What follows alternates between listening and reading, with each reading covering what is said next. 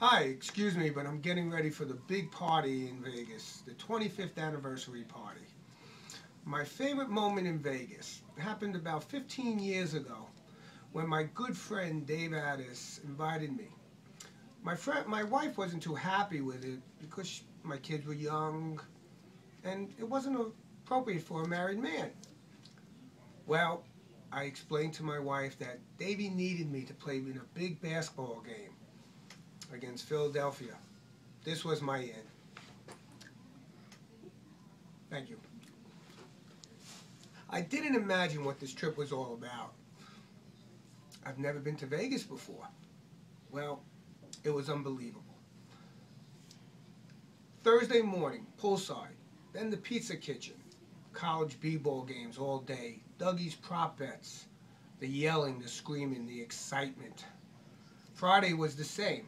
Saturday, poolside at the Cabana, food and more college b-ball games. Saturday night, the famous dinner, and then the awards like, Who the fuck are you award? This year could be you, you, or even you. Thank you. Oh, life is all about. Through, through the years, I met terrific guys. To name a few, Dougie and Seeks. Seeks from California. Luau from Cal, I'm sorry, Dougie and Seeks from Chicago, Luau from California, Scooter from Maine, Tony, who had a great bar mitzvah one year, Rabbi, Kenny, Pooh Bear, Toes, and Alan, who I want to give my deepest sympathy. A moment of silence for a great person, Jeffrey, who will always be in our hearts and never be forgotten.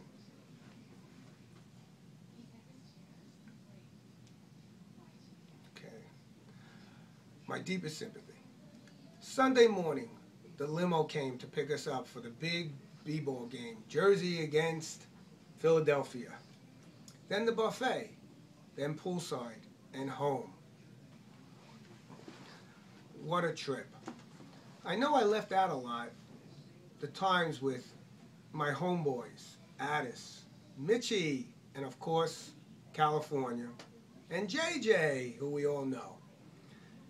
All I can say is what happens in Vegas stays in Vegas. There were years that some people made and couldn't, but we always come back. A quote from Gene Hackman I love you guys. Happy 25th anniversary.